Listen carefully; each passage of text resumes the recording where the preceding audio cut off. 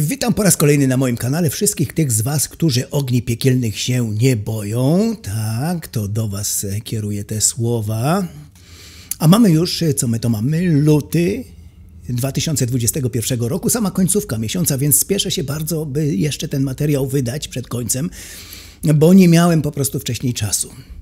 A dla przyzwoitości co miesiąc, raz w miesiącu wypadałoby coś powiedzieć, zrobić jakiś materiał. Być może technicznie już go opublikuję w marcu, bo to ten proces troszkę trwa, ale w chwili, kiedy mówię te słowa, mamy jeszcze luty. Bardzo ciekawy miesiąc. Celebrowaliśmy dwa wielkie, ważne dla ludzkości wydarzenia, można by powiedzieć, z innych światów. Mianowicie 18 lutego byliśmy świadkami lądowania po raz kolejny na Marsie łazika Perseverance, misja Perseverance, coś niesamowitego. Mogliśmy to na żywo oglądać, no na żywo, z 11-minutowym poślizgiem, bo tyle światło tam, stamtąd biegnie. No oczywiście my to wiemy, ale dla celów historycznych to mówię dla kogoś, kto będzie za parę lat oglądał ten materiał, żeby tu w jakimś kontekście to umieścić, co się działo w tym czasie. I, I, potem 22 lutego też ważne wydarzenie, ale lokalne, które odbiło się też echem na całym kiedyś świecie, to bardzo ważne dla ludzkości, y, mianowicie celebracja 90. 90. Y, rocznicy objawień y, Jezusowych siostry Faustyny. Tak jest. 22 lutego 1931 roku pojawił się Jezus, przyszedł, pofatygował do Płocka, do samego Płocka, do Faustyny, żeby z nią porozmawiać. On często nie przychodzi na ziemię, więc no to było ważne wydarzenie. Miał wiele do powiedzenia, ciekawych rzeczy.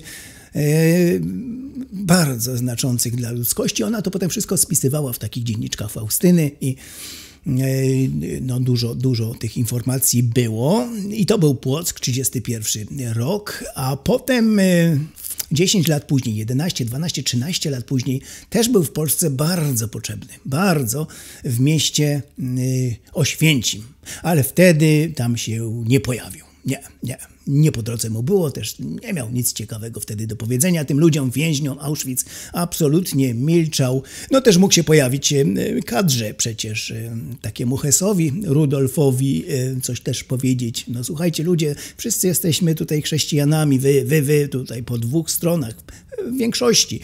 Wasz filer był chrzczony w imię mojego taty, czyli w moim imieniu w kościele katolickim. Jego rodzice byli też katolikami z dziada, pradziada, więc no nie wypada takich rzeczy robić. Przestańcie, no wygaście już te krematoria i przekażcie sobie znak pokoju i tak dalej, i tak dalej. No ale się nie pojawił. Nie, nie był tym zainteresowany. Oświęcim nie był mu, jak mówię, po drodze. I to jest ciekawe, że Kościół nigdy, zauważcie, nie celebruje właśnie jakiejś tam rocznicy e, nieobjawienia się Chrystusa w jakimś miejscu, a tu by aż pasowało 80. rocznica nieobjawienia się Chrystusa w Auschwitz.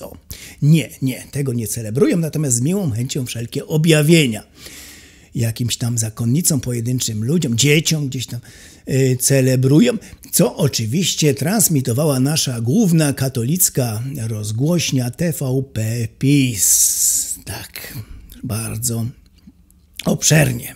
Swoje objawienia wypełniała powierzone jej role i głosiła miłość do Boga i człowieka. W 90. rocznicę objawień w Częstochowie w Dolinie Miłosierdzia odbywają się uroczystości związane z upamiętnieniem tamtych wydarzeń. Na miejscu jest Ewelina Lach. Ewelino, powiedz, jak wielką rolę dla Kościoła katolickiego odgrywała święta siostra Faustyna? Mm, I w tym miejscu wypadałoby zaznaczyć, że to jest kanał wiadomo dla kogo y, dla religijnych szyderców i niech tutaj nikt nie wchodzi, kto potem się obrazi i będzie miał jakieś pretensje do mnie i tak dalej, i tak dalej. No stała formułka, bla, bla, bla, wiadomo. Co jest ważne, co jest ważne, bo na przykład, y, kiedy to wczoraj taki, y, jak mu to było zdzichu, wszedł tutaj komentować pod moim chyba ostatnim materiałem filmowym i napisał coś takiego. Co ty człowieku jesz, że tak głupio mówisz? Napisał y, Zdzisław i już sobie wyobrażam, że obok leży stolik z różańcem na nim postawionym. Więc taka formułka daje mi potem podstawę, żeby wyprosić takiego delikwenta słowami, jak to teraz w rewolucyjnym nastroju. Zdzisiu, kochany, ale stąd w podskokach i nie chcecie tu widzieć, mm, czym bardzo zdziwiłem Zdzisława. Ale do czego zmierzam? No nie jest to takie hop łatwe, niewierzący, niewierzący, bo jak się okazuje, coraz częściej na mój kanał wchodzą ludzie jeszcze wierzący, ale tacy już troszkę na wylocie, którym to dodałem jednak e, odwagi, dałem takiego kopa, żeby już raz na zawsze porzucili e, zabobony religijne, w tym objawienia e, siostry Faustyny co mnie bardzo cieszy u skrzydla, to ostatnio mówiłem, ale naprawdę mam wtedy wielką satysfakcję i niemalże fruwam e, na, nad podłogą 10 centymetrów, bo ten kanał jest e, rozrywkowy, bo tak traktuje zawsze zabobony religijne, wiarę w absurd jako źródło e, śmiechu, ale przecież wiemy, że ogromna ilość ludzi cierpi przez religię na całym świecie i ta możliwość pomocy, przy okazji pomocy komuś jest naprawdę fantastyczne, jakby połączenie przyjemnego z pożytecznym. I tak chciałem teraz pozdrowić niejakiego Svena, człowieka, który posługuje się e, tym e, pseudonimem, który napisał do mnie parę dni temu i prosił, żeby e, znam jego nazwisko prawdziwe i imię, ale prosił, żeby używać, używać pseudonimu oczywiście i zezwolił mi na tutaj pokazanie kilku słów, przytoczenie kilku cytatów, co z wielką przyjemnością robię. Mm, Sven napisał do mnie, że y, ogląda, kiedy zaczął oglądać, nie będę cytował dosłownie, bo tekst jest długi, ale kiedy zaczął oglądać moje materiały, to był jeszcze, uwaga, wierzącym człowiekiem. Ale mimo to nie obraziło to jego uczuć religijnych i jak pisze Sven, uważam, że mm, nie istnieje coś takiego jak obraza uczuć religijnych, bo co by to miało niby znaczyć i przytacza tutaj mm, analogię z wyznawcami Coca-Coli, których można obrazić, kiedy powie się, że Pepsi jest lepszym napojem. Mm, no właśnie, można obrazić, przy czym to może nie jest za dobry mm, przykład. Ja bym dał e, tutaj disco polo jako przykład.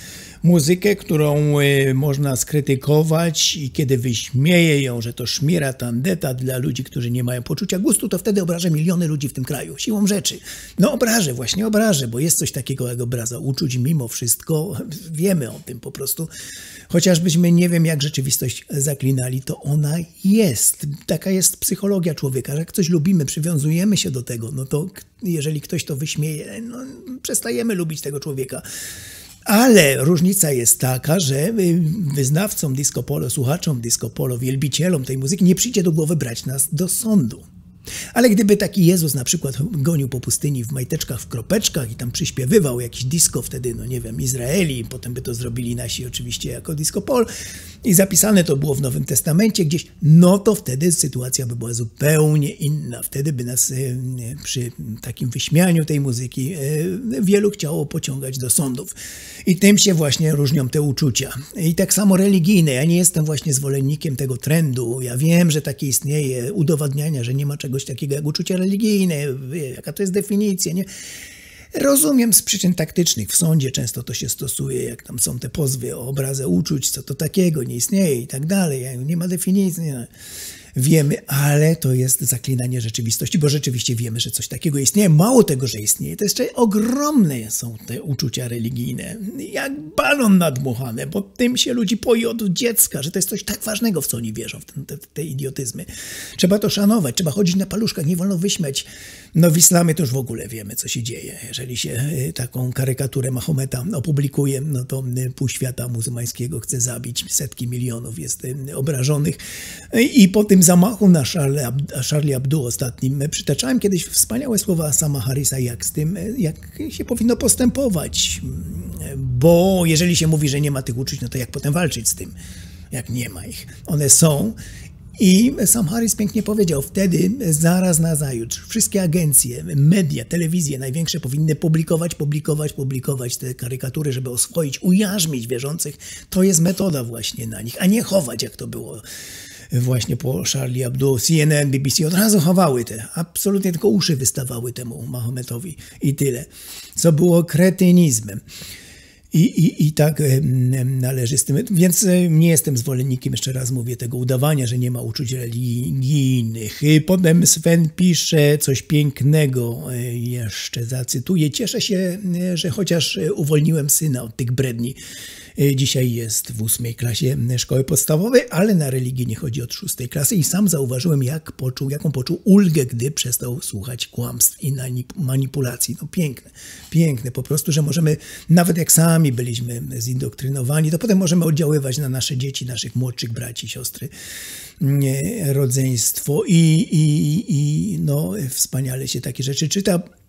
Powtarzam, ja nigdy właśnie tego nie przeżyłem, dlatego to są te ciekawe historie, które e, słucham, szczególnie te, które w moich wiadomościach do mnie są opisywane. I tutaj kolejny e, przykład. Chciałem pozdrowić też e, oprócz Svena Franciszka, który kilka dni temu do mnie napisał, młodego człowieka, i też za jego zgodą zacytuję. Niedawno dopiero pozbyłem się balastu religijnego, wyjątkowo mocno wtłoczonego mi w głowę i twój program dodatkowo utwierdza mnie, że to dobra droga. Tak jest, potwierdzam jeszcze raz. Dobra droga. Nie było to łatwe, bo uwaga, tu jest ciekawe. Brat ksiądz i wuj ksiądz który mnie wychował. Y, w ostatecznym kroku pomógł mi odcinek dziesiąty, gdzie zobaczyłem, że y, dużo ludzi z Bogiem emocjonalnie sobie radzi, ale z diabłem nie. I to mnie przekonało. No właśnie, to jest chyba mowa o tym Angliku, którego cytowałem, który prowadzi kanał Cosmic Skeptic, który był zindoktrynowany mocno y, za młodu katolikiem, angielskim katolikiem i do tej pory jeszcze ma tam takie zwidy podświadome zupełnie, jakieś lęki wpojone właśnie za, przed diabłem, mimo że umysł y, doskonale wie, że to brednie, to jednak podświadomość tam jeszcze to pamięta i tak dalej. No i, i, i, i bardzo, bardzo to wspomina Wspaniałe jest, co pisze Franciszek i jeszcze jeden może cytacik, że ja sam mojemu młodszemu bratu próbuję czasem co nieco przetu, przemycić, ale to niełatwe, bo brat pierworodny ksiądz bywa tam często i moje wpływy niewielkie. No, to, to właśnie pokazuje, jak ciężkie jest wydostanie się z religii, bo jesteśmy otoczeni rodziną mm, bliższą, dalszą, często bliską bardzo. No i to, to, to jest naprawdę ciężkie, a już w przypadku Franciszka to należą się wielkie słowa gratulacji, bo mieć brata, księdza, wujka księdza i to jeszcze, którzy mają wpływ na wychowanie i, i potem z tego się... No, piękna, piękna sprawa. Zostaje jeszcze najmłodszy brat. I skoro jeszcze chwalę się, zostanę, jeszcze pozwólcie mi się raz pochwalić, dosłownie wiadomość dzisiaj rano taką otrzymałem, otrzymałem od Laury, nauczycielki, która w wieku 40 lat zdecydowała się na apostazję. Tam nie była jakąś wierzącą, ale, ale pod moim wpływem, pod moimi, pod wpływem moich tam słów, y, nawet jadąc w aucie jeszcze do proboszcza, swojej parafii y, słuchała mojego nagrania, co dało jej kopa, no bo troszkę była zestresowana i to jej dał energii, kopa e, śmiałości w, w tym kroku. Ja wiem, że są różne opinie na temat apostazji, jedni tak, jedni nie, nie będziemy się godzić na ich warunki i tak dalej. Ja jest, jestem za apostazją i tak sobie wyobrażam, gdybym ja był chrzczony, to bym jednak chciał tego dokonać tak z własnej, dla własnej satysfakcji, takiej, no, nazwijmy to duchowej symboliczno-duchowej sprawy i dwa razy byłem właśnie takim ojcem odchrzestnym moich przyjaciół. Y, to tyle, chociaż mogłem zrobić taką, miałem satysfakcję. I kiedyś zapytałem po skończonej już ceremonii podpisania tych papierów, zapytałem proboszcza y, mojego przyjaciela, no dobra, no ale co się z nim teraz stanie? Proszę mnie, ma jeszcze wejście do nieba, czy nie? Naprawdę się speszył, no nie wiedział co powiedzieć, bo był dość kulturalnym człowiekiem. No i wiedział, że nie wypada tak mówić, że nie ma koniec, kropka, a z drugiej strony no, religia mówi to, co mówi, Pisma Święte mówią to, co mówi. Więc był w kleszczach i wił się tam naprawdę jak węgorz. Nie wiedział, jak tutaj wyjść z tych opałów i w końcu dodał, że wszystko w rękach Boga. Jak zawsze, jak zawsze. Jak już nie wiedzą, co powiedzieć, to zawsze decyzja należy do Boga. No to pytanie, po co się modlić na tych, całe życie, e, na tych kolanach w kościele, i tak wszystko potem zależy od Boga. No Bidok nie mógł tego powiedzieć, no mieliśmy potem śmiechu. E, Naprawdę. I teraz jest doskonały moment, żeby przedstawić książkę mojego e, zaprzyjaźnionego od wielu lat ateistę, dziennikarza, mianowicie mm, Adama Ciocha, który napisał epidemia manipulacji. Jak chronić się przed religijną manipulacją siebie i bliskich? Adam jest jak powiedziałem, dziennikarzem, ale wie o czym pisze, bo też był teologię, studiował teologię i, co najważniejsze, sam przechodził przez religijną indoktrynację. Był kiedyś bardzo wierzącym człowiekiem. No i zna to wszystko od podszewki, oprócz tego, że e, Pismo Święte i teologię chrześcijańską ma w malutkim paluszku. Więc e, to jest bardzo ważne e, materiały pisane czy mówione przez ludzi, którzy przez to wszystko przeszli mm, i, i, i, mogą coś zaoferować, czego ja nie mogę kompletnie, bo jak mówię, no nigdy nie miałem na pięć, przez pięć minut, nie wierzyłem, nie wiem jakie to jest uczucie i dlatego tak z taką ciekawością słucham tych wszystkich opowiadań, jak to jest się z tego wydostać. Natomiast Adam no, wspaniale tutaj. Ja nie miałem jeszcze czasu prze, przeczytać. A, a, właśnie odebrałem z poczty. Adamie, do ciebie kieruję te słowa, jak będziesz. Bardzo dziękuję po raz kolejny, ale tym razem z tego miejsca za książkę z dedykacją. To nie jest gruba, jak widzicie, 70 stron e, fajnych, fajnych porad. Jeżeli sami już nie potrzebujecie, to właśnie dla dzieci swoich, dla rodzeństwa młodszego, żeby poczytali. Mm, e, nie miałem czasu przeczytać, ale tak pobieżnie tylko rzuciłem okiem i bardzo mnie ucieszyło, że Adam zwrócił na jedną rzecz uwagę, na szkodliwość religii o czym w ogóle się nie mówi, temat tabu kompletny, a mianowicie przeludnienie planety. Ja o tym wspominałem w odcinku o Davidzie Attenborough, ateiście, który jako jeden z nielicznych intelektualistów, bardzo znanych na świecie przyrodników, mówi głośno, trąbi wszędzie właśnie o przeludnieniu planety spowodowanym religią i nie boi się tego tematu i też mówi, jak jest tabu, gdziekolwiek się pojawi na jakiejkolwiek konferencji.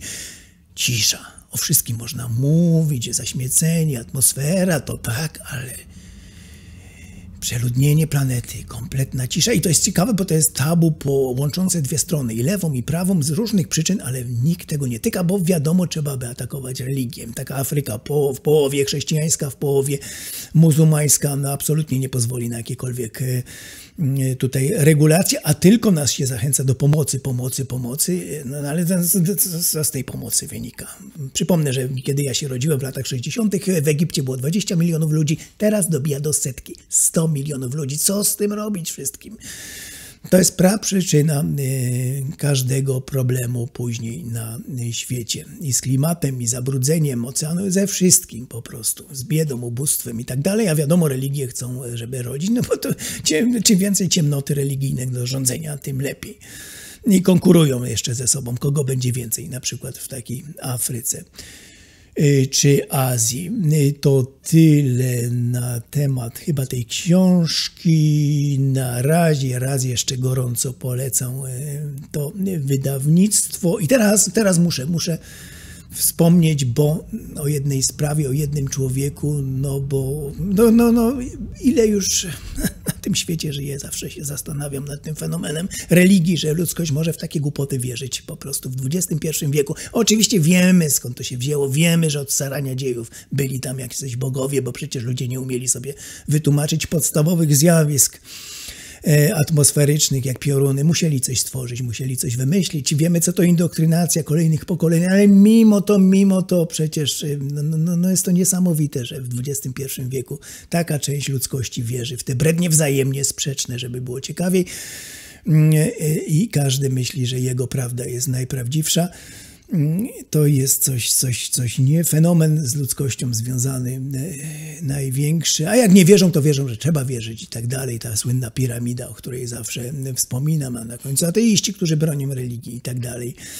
I tak dalej. Często argumentem jest to, że, że, że człowiek potrzebuje, kiedy jest, ma jakąś jest potrzebie, y, życie zagrożone, to wtedy i tak dalej. To jest też argument, o którym y, Adam wspomina w swojej książce, tego szantażu religijnego. Zobaczysz, będziesz kiedyś w potrzebie i tak dalej, i tak dalej. Nawet Tymczasem nawet człowiek, który nie jest tymi głupotami z Indokrynacji, czy wydostał się z religii, który potrafi myśleć. No nie ma takiej sytuacji, w której zacząłby wierzyć w takie brednie. To jest nie do wyobrażenia.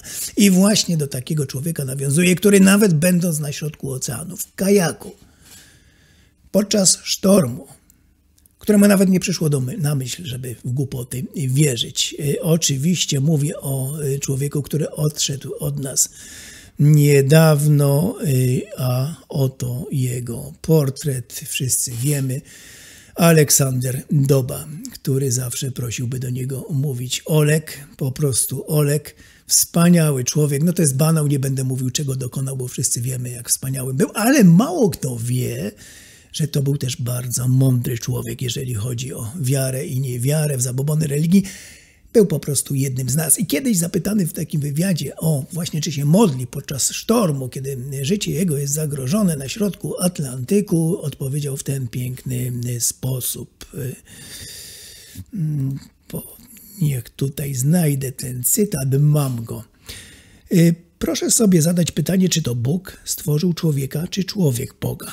Ja wierzę w ten drugi wariant. Bóg istnieje w umysłach ludzi, którzy go potrzebują. Nie kwestionuję tego, jestem jednak wkurzony, gdy ktoś próbuje mi narzucić swoje poglądy na ten temat. Kiedy uzna, że to, kiedy uzna się, że to człowiek stworzył Boga, wszystkie tajemnice się wyjaśniają. No proszę. Straciliśmy naprawdę wspaniałego, rozumnego człowieka, serdecznego, ciepłego, pozytywnego.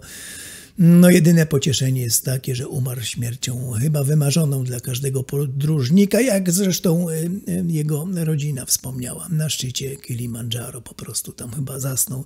E, w chwili, kiedy to mówi, nie ma jeszcze tam jakiejś sekcji zwłok. Chyba serce mu wysiadło. Ja mam taką malutką, malutką satysfakcję, że raz w życiu mogłem go spotkać i uścisnąć rękę. To było zaraz po tym, jak po raz trzeci przepłynął samotnie Atlantyk i pojawił się na takim, nad Wisłą, na takim spływie kajakowym i mogłem mu osobiście pogratulować. Taka maleńka satysfakcja, moment, który stał się teraz e, cenniejszy dla mnie i to zdjęcie, kilka zdjęć, które z nim mam.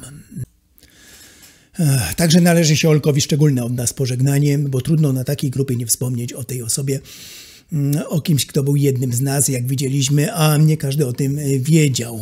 Szkoda, smutek, żal, bo miał tylko 77 lat, a w środku pełen młodzieńczej energii. On się w ogóle nie starzał.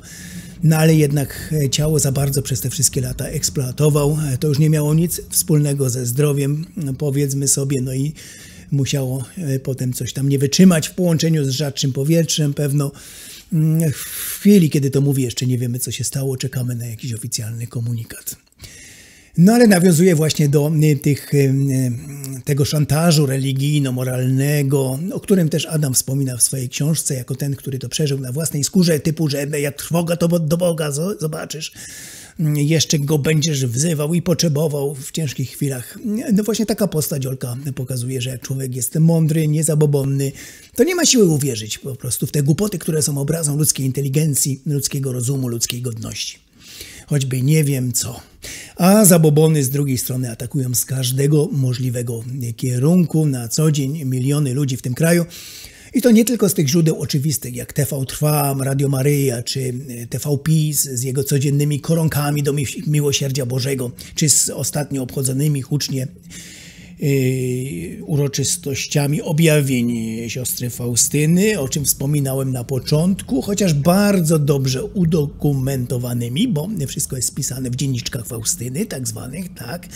A, przypomniałem sobie, kiedyś zrobiłem materiał o naszym biznesmenie Romanie Klusce, to jest numer 19 który właśnie siedział w więzieniu, on tam już troszeczkę był religijny na początku, ale wziął się za czytanie z nudów dzienniczków Faustyny i wtedy go oświeciło. Zrozumiał, po co tam siedzi, sens tych cierpień, życia w ogóle.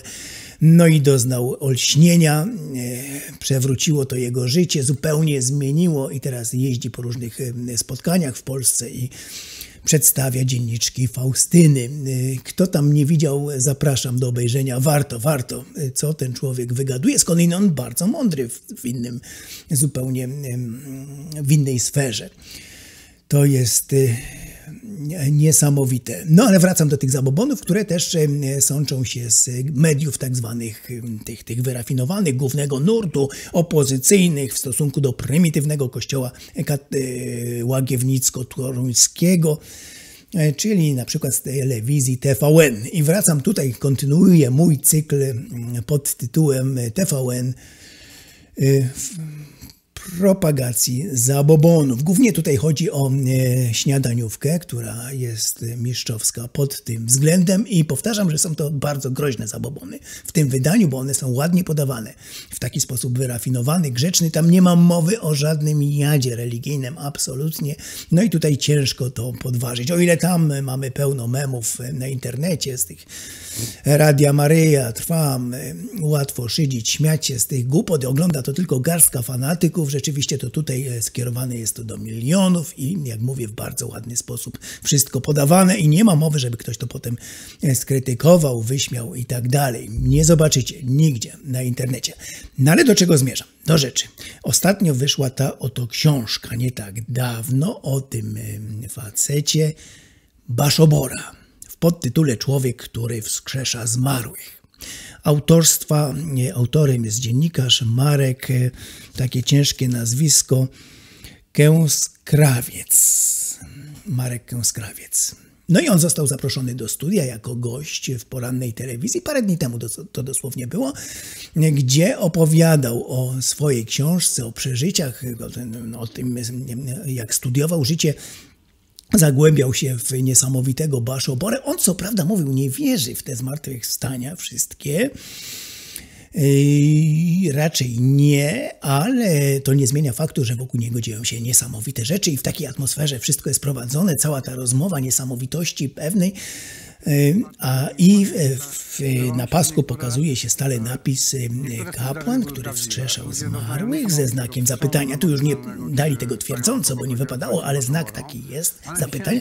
I w podtekście ludzie, którzy to oglądają, mają sobie zdanie wyrobić. Coś w tym jest. Może pomyślę, że on nie wskrzeszył tak aż tylu osób, co tam się chwali, a może mniej. No jest to kwestia sporna. I właśnie to jest całe tło rozmowy. No a, a a, Marek opowiada tutaj, jak niesamowitą postacią był i on nie ma nic wspólnego z tymi teleewangelistami amerykańskimi, którzy niby tam cyganią, cuda robią, a cyganią i tak dalej. Ten tutaj coś w sobie ma. No i w pewnym momencie do rozmowy e, włącza się dziennikarka, o której zawsze mówię, Katarzyna e, Lubińska bodajże, tak? Sprawdzę jeszcze nazwisko. Olubińska, Olubińska, e, o której mówię, że jest taką natchnioną. Ona jest od tych spraw religijnych w TVN i kiedy prowadzi wywiady, to po prostu Duch Święty w nią wstępuje, jest natchniona i tu też siedzi obok i dorzuca do pieca, że no, w podtekście też nie wie, do końca nie twierdzi, że on może wskrzeszał tych zmarłych, to też jest niewiadome, ale, ale no jest to możliwe, tak jak i uzdrowienia, bowiem, jak twierdzi, bo no nie możemy zamykać też granic tak Bogu, że On jest wszechmogący i rzeczywiście może wszystko, może się posługiwać człowiekiem, ale chyba takim słowem, które mi się tak sobie jak dzisiaj o tym myślę i też właśnie mhm. wczoraj też dzwoniłam do ludzi, którzy ze mną wtedy tam byli. To słowem, które tak y, mi się pojawia, to jest pokora. Pokora wobec tego wszystkiego, bo my naprawdę tego nie zrozumiemy, nie zmierzymy. No więc właśnie, nie można przed Bogiem stawiać żadnych granic, który jest wszechmogący i co to dla Niego za problem wskrzesić tego czy tamtego za pośrednictwem swego wybrańca na ziemi, czyli takiego baszobory. I, I, to pytanie o wskrzeszenia cały czas wisi w powietrzu i w tym klimacie cała czwórka poważnie dywaguje nad tym wszystkim, no i dostarcza argumentów ludziom, którym niewiele trzeba religijnym, bo nawet jak nie wskrzesił aż tylu ludzi, to pewno tam jednego, no a już co do zmartwychwstania Jezusa, to przecież nie ma żadnych wątpliwości w takim takim e, kontekście. Mm, trzeba pokory, trzeba pokory wobec tego wszystkiego, jak słyszeliśmy. No i dalej Katarzyna rozwodzi się nad tym, jak to poznała prawdziwy Kościół przez charyzmatyków, odeszła z tego, od tego głównego katolickiego nurtu właśnie w ich e, kierunku. Kasia, bo ty jesteś osobą wierzącą, bardzo otwarcie o tym mówisz, też rozmawiałaś z wieloma charyzmatykami. Ale co ty idąc czułaś? na stadion narodowy, po co tam poszłaś? Jaki był twój cel? Właśnie jak tak siedzimy, to się zastanawiam, czy ja w ogóle nie jestem w kościele dzięki charyzmatykom, bo rzeczywiście nie ojciec Baszaboro, ale, nie, ale wcześniej tacy charyzmatycy z Brazylii, ojcowie Antonello i Enriquez. Tak. I, I, spotkanie rzeczywiście moje z nimi, gdzieś obecność na takiej mszy, właśnie uzdrowienie, gdzieś otworzyło oczy, że wiara to jest coś więcej niż, y, niż rytuał. Wydawało. A też coś Marcin Zieliński, tak Zieliński, Marcin, charyzmatyk, tak, z którym tak, o którym te, też tak, tych rozmawiałaś tu sporo tak, wywiadów. No i teraz rozmowa schodzi na charyzmatyków. A jak oni to oczywiście ojciec Pio, stygmaty, bo to jest wszystko nierozerwalne, no, czego nie mówią, ale każdy wierzący oglądający ten materiał sobie to już w myślach dopowie, że to są przecież oczywiste oczywistości wszystko. Następnie Katarzyna przytacza anegdotę o cudownym uzdrowieniu, że ona ma znajomych, ci znajomi ojca. Ojciec tam kiedyś był na stadionie, no i wrócił uzdrowiony. Przy czym nie chodziło o to, że mu tam odrosła amputowana ręka czy noga bynajmniej. Nie, nie, nie czy zrósł się e, kręgosłup, e, na przykład rdzeń kręgowy, był na wózku, a potem wyszedł cały, nie. I on się po prostu lepiej poczuł, miał dobry humorek. No i takie głupoty opowiadają samego rana i tym są pojeni ludzie. E, ogromne rzesze ludzi w tym e, kraju. A potem się dziwimy, że następnym razem, kiedy taki Baszobora przyjedzie, a przyjedzie, jak COVID się skończy, bo on ma zawsze takie objazdówki w kilku miejscach w Polsce, między innymi na Stadionie Narodowym, potem jedzie do Lichenia i tak dalej, no to wtedy taki stadion wypełni się dziesiątkami tysięcy ludzi, którzy tam się wpakują. No i zawsze są pytania, jak to się dzieje, jak to możliwe jest, że tylu wierzy? No właśnie, między innymi przez takie programy propagującego. Potem y, y, no, ludzie polecą sprawdzić, bo coś w tym jest, coś w tym musi być. No i teraz e, często się cieszymy, że odchodzą z kościoła katolickiego, tego konwencjonalnego, ludzie wierni, zmęczeni tymi gupolami, biskupami, pedofilią, e, tą całą polityką, no ale to mała pociecha, bo oni się właśnie w dużej mierze kierują e, w stronę tych ruchów charyzmatycznych, ewangelickich, przeróżnej maści, no pełno tego, wystarczy internet otworzyć tylko. No i zauważcie, czy znajdziecie jakiś, jakiś materiał wyśmiewający te głupoty, które były kilka dni temu, powtarzam, w TVN-ie. Nie ma. Zero. Zero. Nikt by się nie ośmielił tego tknąć. Mało tego, są jeszcze gorsze sprawy do wyśmiania, o czym zawsze mówię, kiedy poruszana jest jakaś tragedia. No i ludzie bredzą, ci, którzy wyszli z tego cało, że mają jakąś opiekę boską. To wtedy już w ogóle y, nie ma mowy o jakimkolwiek wyśmianiu. I tak parę miesięcy temu w tym samym programie, w tamtym roku to jeszcze było, zostali zaproszeni pilot y, z żoną. Pilot, który miał lecieć w 1987 roku z drugim pilotem Pawlaczykiem, tym, który w lasach kabackich, nad lasami kabackimi powiedział te słynne słowa Cześć, lecimy, giniemy.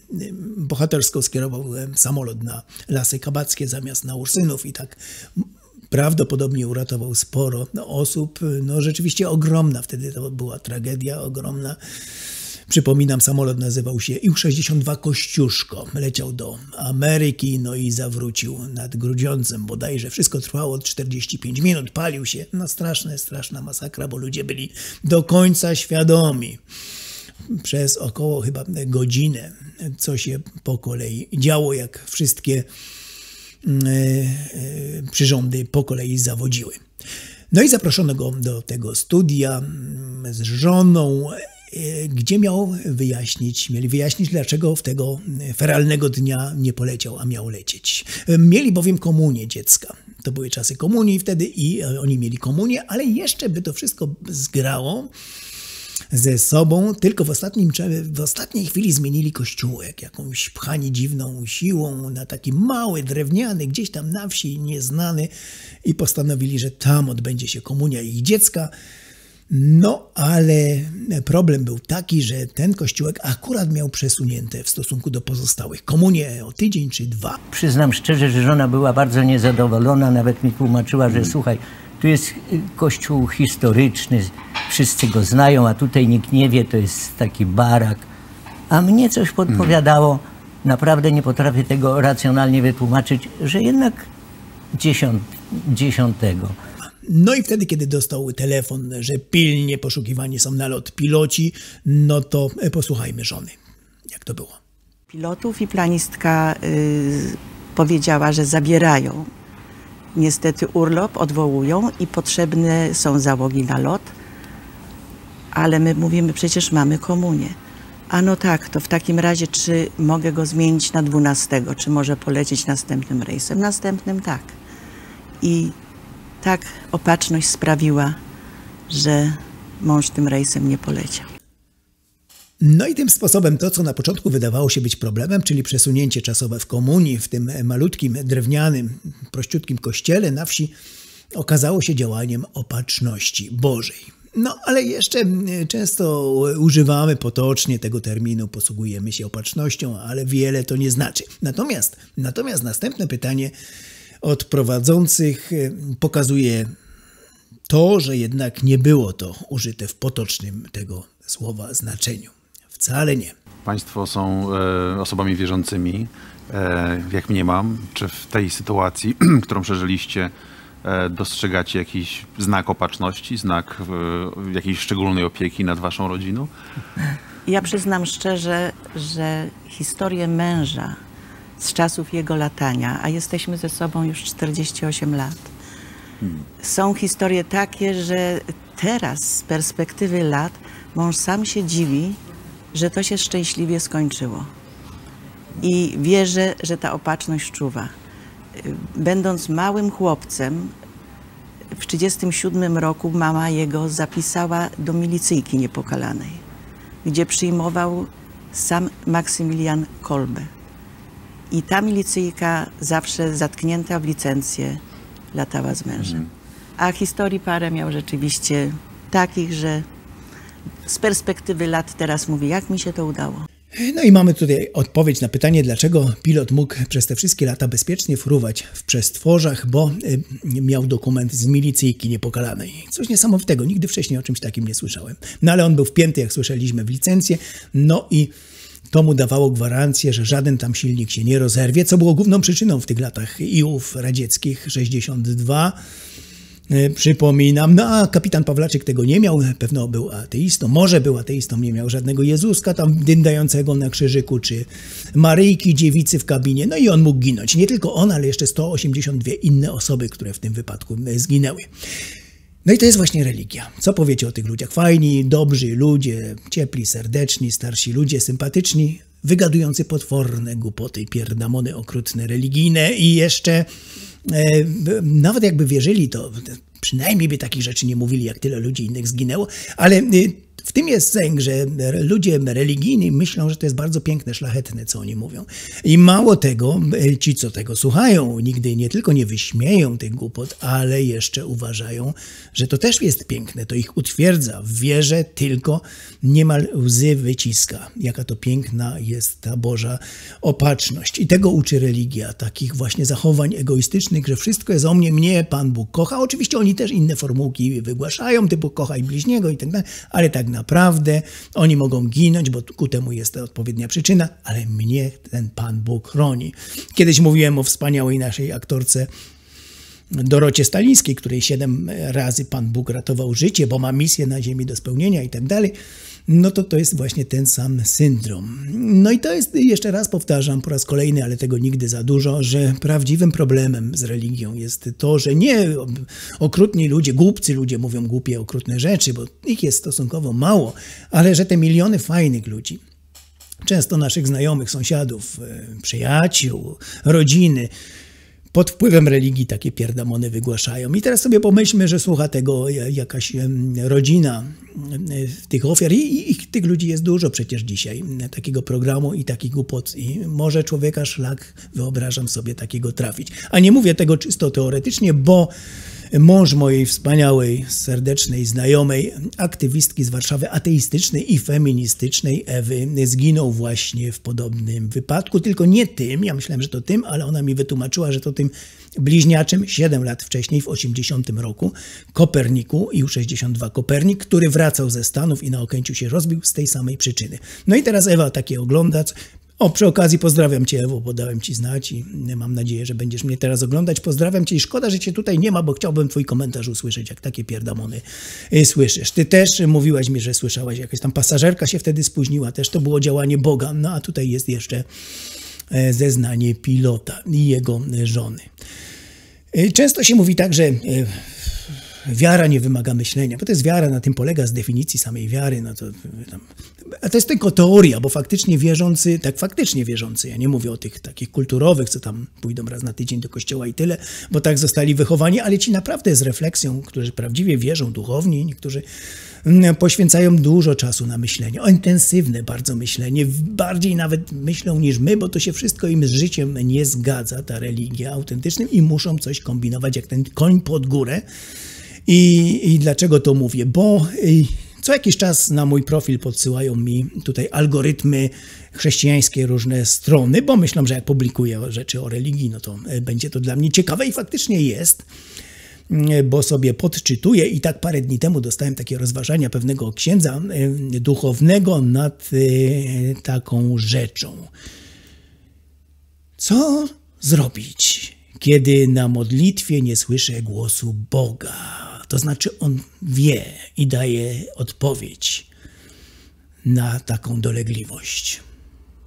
No i to jest jedno z tych pytań, z którym my możemy sobie na całe życie dać spokój, nie poświęcać ani minuty y, cennego czasu. W tym y, czasie można sobie zajrzeć na przykład na Marsa, co tam się dzieje, ostatnie newsy, poprzeglądać zdjęcia Perseverance, jakie zrobił. Jeżeli już pomyśleć, to nad tym, czy było tam kiedyś życie, czy nie było, miliony czy miliardy lat temu, poczekać na napływające jakieś dowody w tej sprawie. Natomiast dla tych ludzi faktycznie jest to wyzwaniem, takie pytania. Poświęcają kupę życia na tego rodzaju dywagacje. E, te takie i podobne pytania, e, przy czym nigdy nie przyjdzie im do głowy, że z tym Bogiem to może być jakaś totalna pomyłka. Lipa, pic na wodę, fotomontaż, gadają sami do siebie. Nie, to zupełnie taką ewentualność z definicji odrzucają. Bóg jest, Bóg patrzy, Bóg kocha, Bóg czuwa, no tylko trzeba dojść jakoś do tego, dlaczego On się czasami, czasami nie odzywa.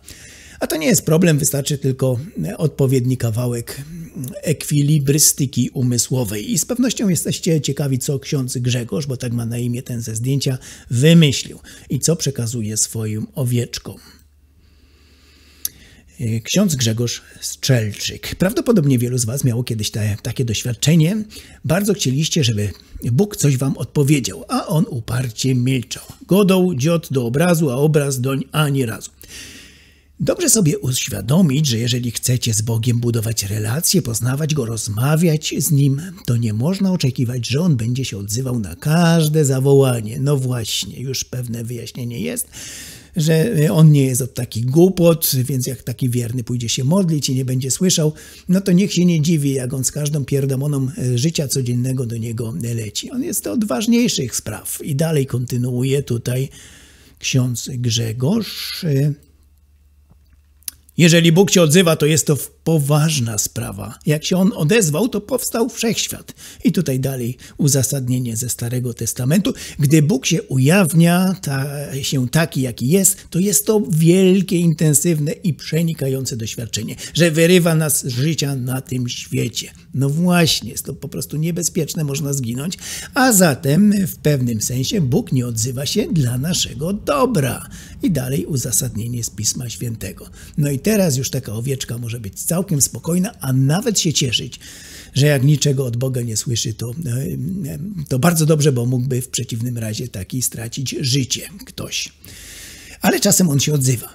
Sporadycznie jednak się odzywa i tutaj powstaje następny czysto techniczny problem, jak te wszystkie przekazy nie pomieszać. Swoje własne myśli, bo wszystko odbywa się pod jedną czaszką, z przekazami Boga żeby człowiek nie zgupiał, żeby jedno od drugiego odróżnić. Czysto taka techniczna sprawa, którą też wyjaśnia ksiądz Grzegorz. Trzeba oczywiście uważać na odpowiedzi, które się nam jawią w głowach podczas modlitwy, a które jesteśmy gotowi potraktować jako Boże Słowa, do nas skierowane. Bardzo łatwo się jest pomylić i potraktować tak nasze własne myśli. Nasz mózg tak działa, że łatwo nam uwierzyć w prawdziwość własnych wyobrażeń. Wtedy człowiek, zamiast słuchać Boga, słucha samego siebie i może się w tym zapętlić i pogubić. Dlatego tutaj czcionką grubą napisane najbezpieczniej i najpewniej, chcąc słuchać Boga, skupić się na Słowie Bożym zapisanym w Piśmie Świętym. No właśnie, no właśnie, po prostu brać Biblię i czytać, a nie tam gadać z Bogiem specjalnie. Doskonałe rady dla owieczek, które płyną wprost z portalu deon.pl, katolickiego czy chrześcijańskiego, który jeszcze raz mówię, został mi tutaj podesłany przez jakiś algorytm, który uznał, że to są dla mnie stosowne treści, no i są w pewnym sensie.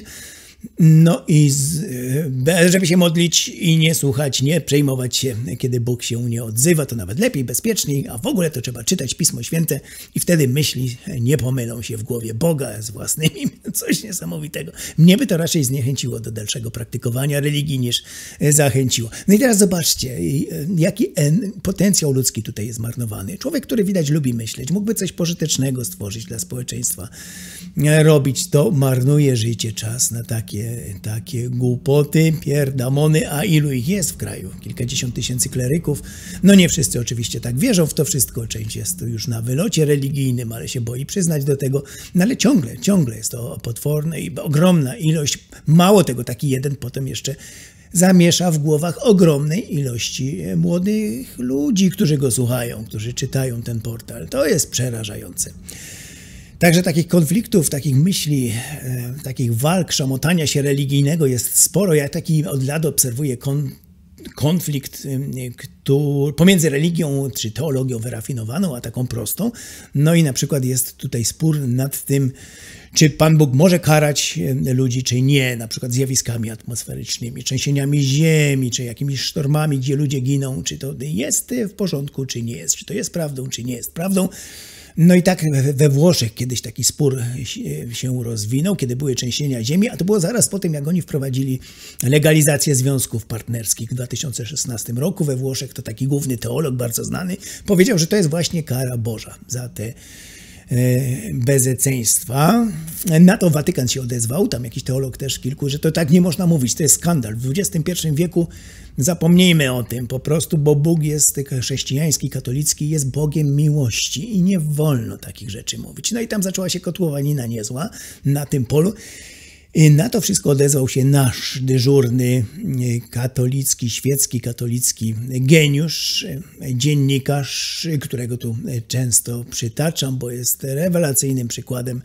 Powie to do obserwacji, powie to, czego inny nie powie. Oczywiście mówię tu o naszym Tomku Terliku Terlikowskim, który powiedział, że on się w tą bitwę nie będzie wtrącał. Poza tym, że się wtrącił. Ja nie, nie chcę wchodzić e, w istotę tego sporu, ale powiem krótko. Od zawsze Kościół mówił, Pan Bóg może do nas przemawiać także przez znaki, także przez wydarzenia związane z przyrodą, także przez trzęsienia ziemi, czy inne wydarzenia. Oczywiście to jest tak, że te znaki czytamy osobiście.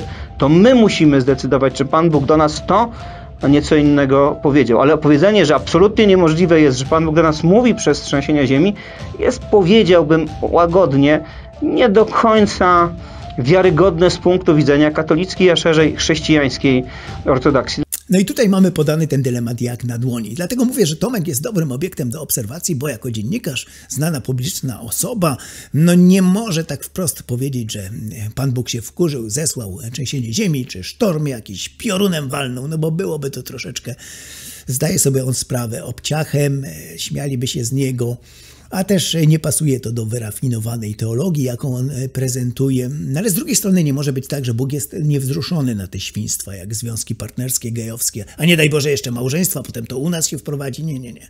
Tak też nie może być, więc Bóg daje jakieś tam znaki. To jest zawsze taki wybieg, że on nie działa bezpośrednio, ale poprzez coś tam. Znaki, znaki tam indywidualnie trzeba odebrać i tak dalej. Męczy się troszkę i męczy. Zajmuje mu to parę minut, aż w końcu dochodzi do genialnej myśli genialny. I to znaczy nie jest to jego, ale on się powołuje na pewne myśli teologiczne. Teologii tak zwanej wyrafinowanej, no coś kapitalnego. Tego byście nie wymyśleli, jak pogodzić ogień z wodą, jak zjeść ciastko i mieć ciastko, jak e, Bóg e, może być miłosiernym, a zarazem karać, jak interweniować, a zarazem nie interweniować. No po prostu genialna myśl. Posłuchajcie.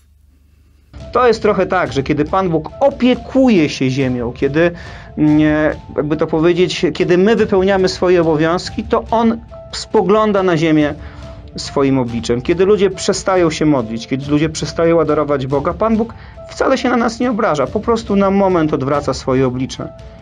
I co się wtedy dzieje? No, wtedy przyroda i natura zaczyna rządzić się sama. I to się zawsze dla ludzi źle kończy i warto o tym pamiętać przy okazji tej dyskusji. dyskusji.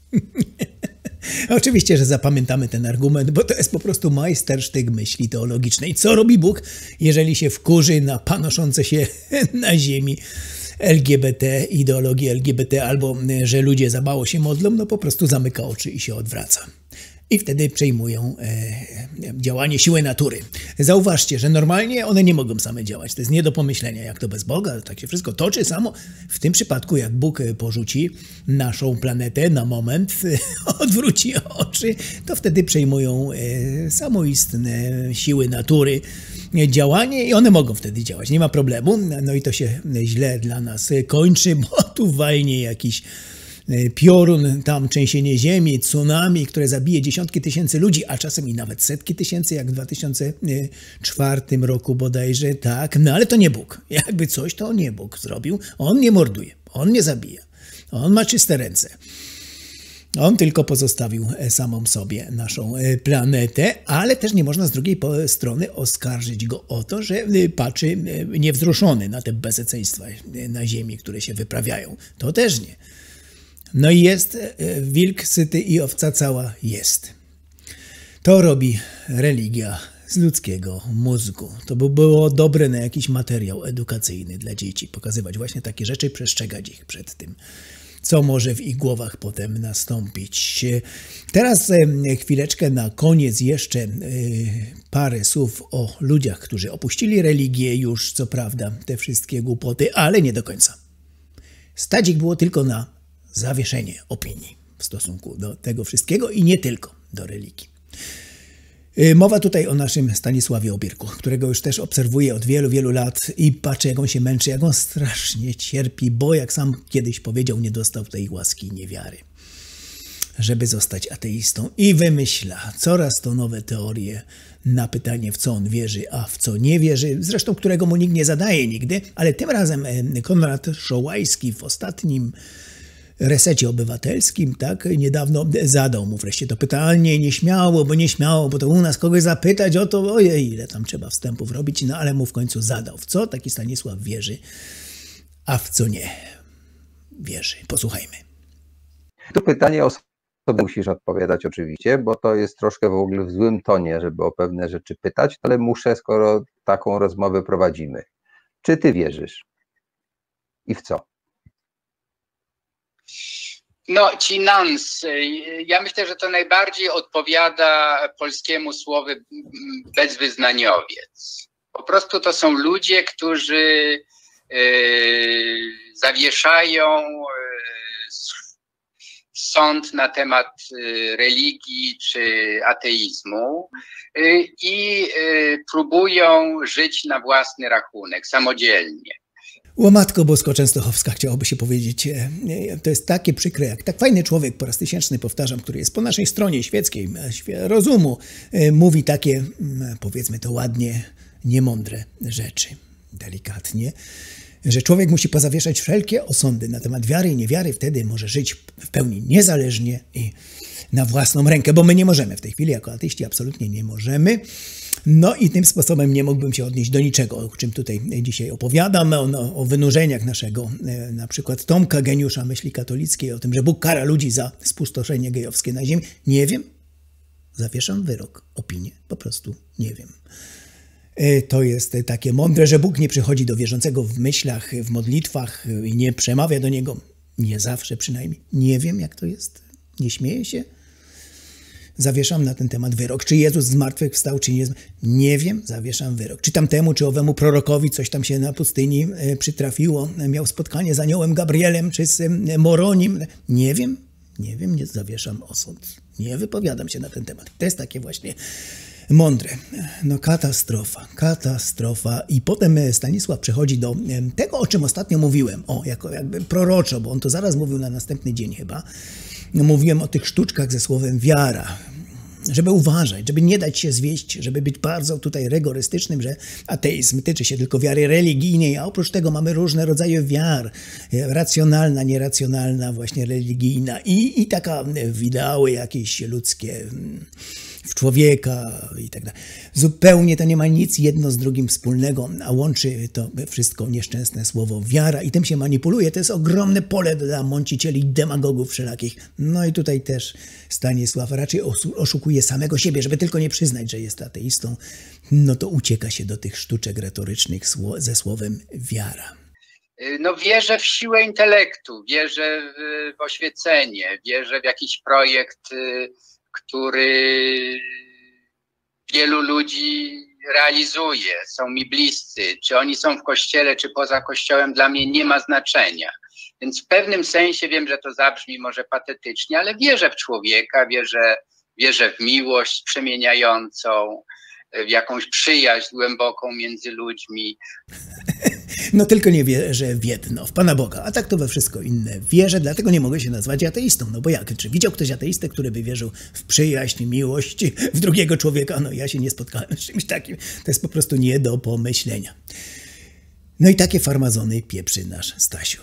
Tak, pieprzy czy po czy i co gorsze, nie ma go kto wyprowadzić tutaj z tego, naprostować, wytłumaczyć pewne rzeczy w głowie, te pomieszanie z poplątaniem, żeby wreszcie przestał bredzić, bo aż się słabo robi i przyznał się, że w żadne religijne brednie nie wierzy, jest po prostu ateistą i wtedy by naprawdę osiągnął spokój wewnętrzny i byłby rzeczywiście niezależnym, wolnym e, człowiekiem. Ale chyba tego momentu już nie doczekam. Y, na sam koniec przechodzę jeszcze do jednego bardzo znanego tematu typu wiara tak, religia tak, kościół tak, tylko wypaczenia nie.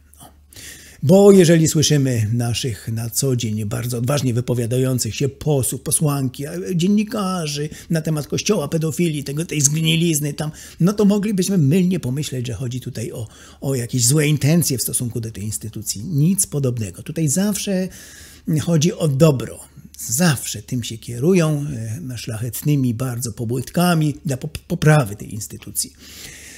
E, I tak weźmy naszą posłankę na przykład Wielgus, Szelin Wielgus, którą znamy, bardzo fajna, nasza, ja ją traktuję jako naszą osobę w Sejmie, ale, ale mm, nie muszę mówić, jak pięknie e, tutaj walczy z pedofilią, tam, tym całym zepsuciem kościelnym na co dzień. Nawet prowadzi piękną akcję szlachetną Apostazja zbiorowa, publiczna apostazja, która ma na celu doprowadzić do tego, żeby kościoły w Polsce pustoszały. Wiadomo, ale jeżeli ktoś by myślał, że w akcji pustoszenia polskich kościołów chodzi posłance Joannie o to, żeby te kościoły właśnie pustoszały i by się z tego cieszyła, to się myli. Nic podobnego. Tutaj spieszę wyjaśnić, żebyście nie popełniali tej logicznej pomyłki. E, pani poseł, cieszyłaby się pani, gdyby kościoły opustoszały w Polsce? Nie, to nie jest. Panie redaktorze, ja bardzo często, e, kiedy wypowiadam się na ten temat, wypowiadam się e, na ten temat od 3-4 lat, słyszę taki jeden argument. Dlaczego pani atakuje Kościół? To nie chodzi o żaden atak na kogokolwiek. To chodzi o to, aby pokazać prawdę, aby doprowadzić do, e, do zadośćuczynienia ofiarom, aby chronić nasze dzieci, które okazuje się, że w instytucji, która e, mieni się autorytetem, nie są bezpieczne. E, no więc właśnie, wcale i nie chodzi o to, żeby kościoły pustoszały i nie cieszyłaby się z tego faktu, a wręcz podejrzewam odwrotnie, żeby one się zapełniały wiernymi, tylko żeby tam mniej troszeczkę gwałcili. A atak na zdemoralizowaną do szpiku kości E, instytucje od samej góry do dołu wcale tym atakiem nie jest. No jakby to mogło być? To tylko chęć poprawy. E, o to chodzi. Sama opuściła mury kościelne dawno, dawno temu, bo stwierdziła, że nie ma po co tam chodzić i czego słuchać, tylko po to, żeby teraz dojść do wniosku, że jednak jest po co tam chodzić i czego słuchać. Nigdy byście nie wymyślili czego. Ciszy, ciszy. Ja powiem panu szczerze, że e, ja na przykład e, no nie uczestniczę w obrzędach religijnych, ale lubię ciszę, która jest w kościele, kiedy tam nikogo nie ma, bo ta cisza jest dosyć przejmująca i trochę inna niż cisza, którą, którą mamy na ulicach.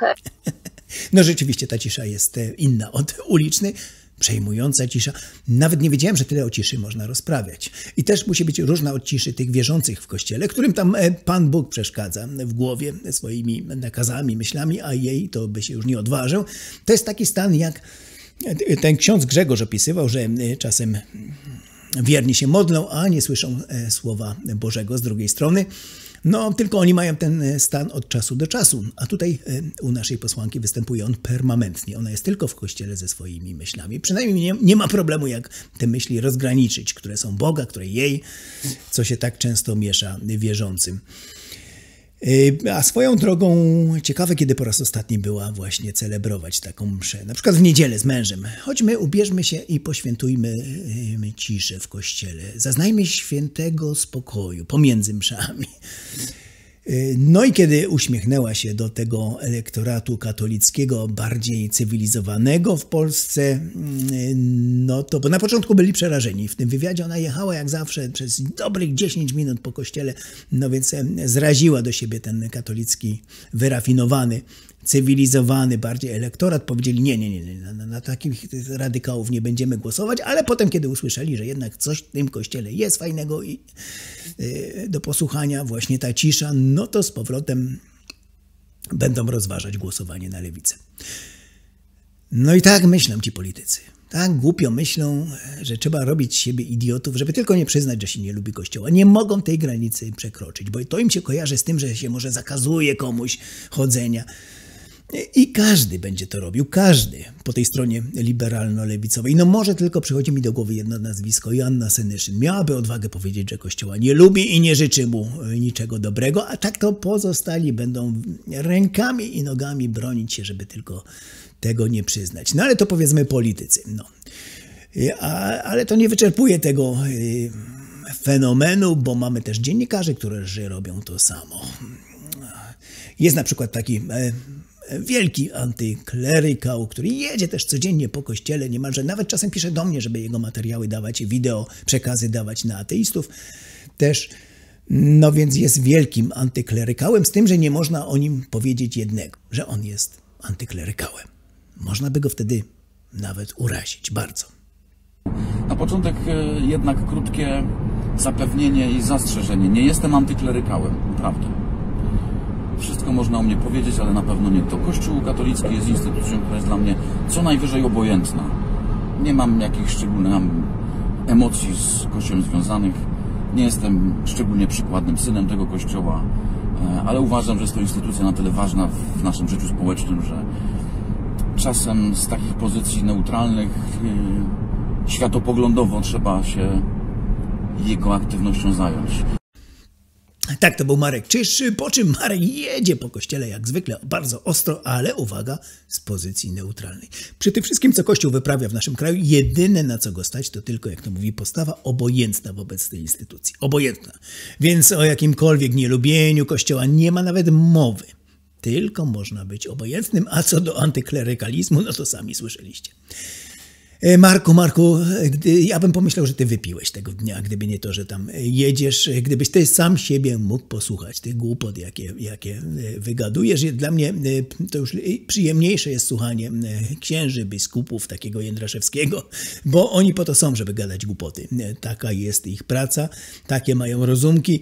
A kiedy od takiego człowieka, takiego dziennikarza słyszy się tego rodzaju głupoty, to jest naprawdę, naprawdę irytujące.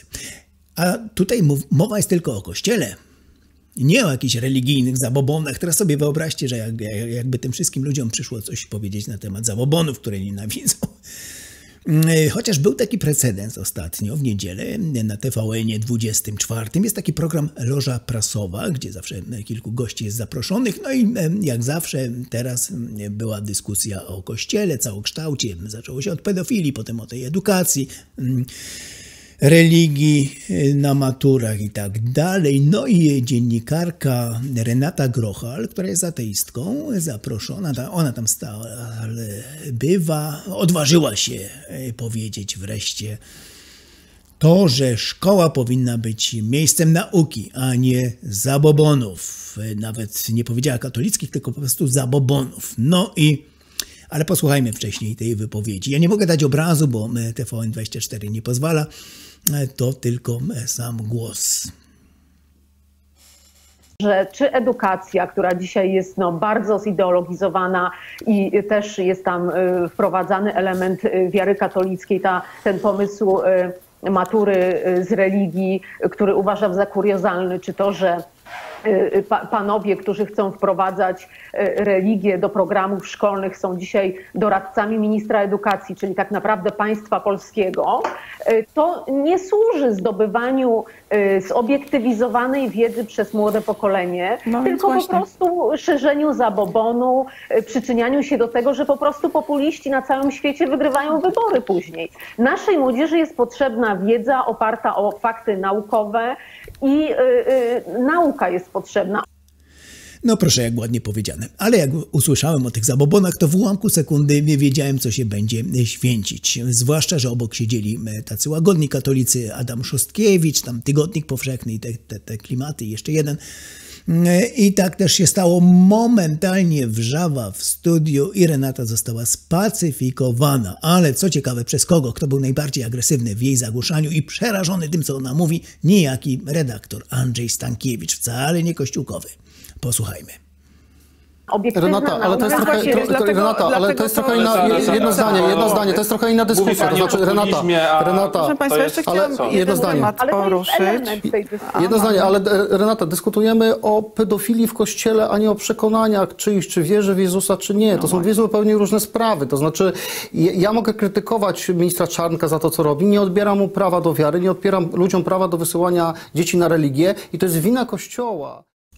Renata, Renata, co ty robisz? Co ty mówisz o zabobonach? Jakiś, a my tutaj o pedofilii. Tylko nieprawda, bo o pedofilii było wcześniej, a potem ona jak najbardziej adekwatnie e, powiedziała o zabobonach przy okazji matur z religii, że miejsce zabobonu jest w kościele, a nie w szkole. W szkole jest nauka.